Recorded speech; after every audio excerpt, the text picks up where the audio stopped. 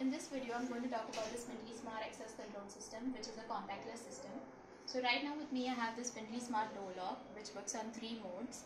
That is uh, the first mode being your smartphone. And uh, now as you can see, the door is locked. So all you have to do is keep the phone next to the lock and it will grant you access to that door. Next, you can also log into your Spintly app and then you have to click on that door. And then again you have access to that door. You can also use an NFC card and all you have to do is place it next to the door lock and you gain access again to the door. And lastly you can always rely on your keys and uh, this will also help you gain access to the door.